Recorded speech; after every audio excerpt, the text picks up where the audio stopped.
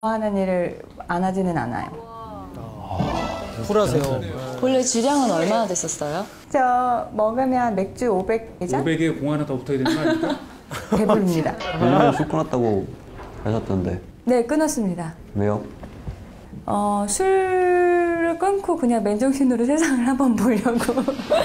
네, 안녕하세요. 서동 역할을 맡은 이다입니다. 슈퍼모델 출신다운 완벽 몸매 이다희. 몇 킬로예요? 지금 49kg 나갑니다. 대박, 나보다 덜 나갑니다. 76이잖아요, 키가. 74 라고 해달라고? 키도 크고 늘씬하고 좋은데 그 스트레스인가 봐요. 저는 키가 큰 게 스트레스이기도 하고 제 컴플렉스예요. 술도 좋아하지 않습니까? 아, 술 좋아합니다. 그래서 집에서 먹습니다. 술 먹어도 체질 않습니다. 저도 어릴 땐 그랬습니다.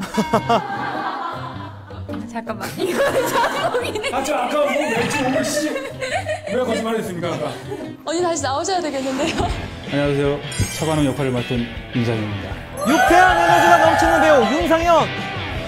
오빠 쉬는 동안 소개팅을 끊임없이 하셨다고 하는 소개팅 작년에 한 12번 해봤습니다. 두번 어, 만나신 많이 분 하셨네요. 없나요? 아, 두, 한 번 만나고 다.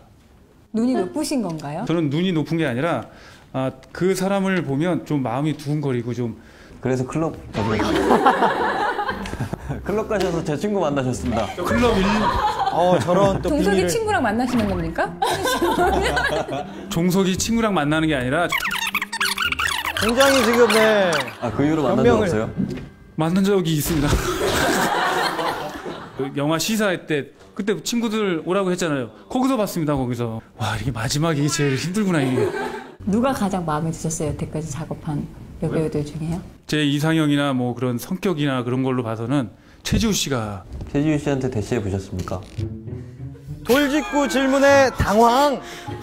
그러면 박하선 씨는 아 저희 어머니가 좋아하신 거지 제가 좋아한 건 아닙니다가 아니고요. 지금은 이제 서영이를 많이 보셔서 지금은 어머니가 보영 씨 좋아하십니다. 저희는 이렇게 홍보합니다. 요즘에도 등산 많이 하십니까? 이런 얘기 좀 해줘 종석.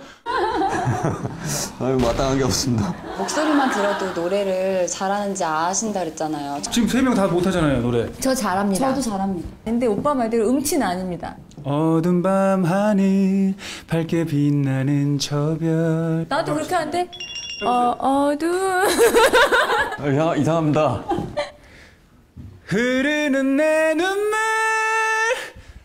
안 되겠습니다. 너의 목소리가 들려 6월 5일 수요일 날 첫 방송합니다. 많은 시청 부탁드립니다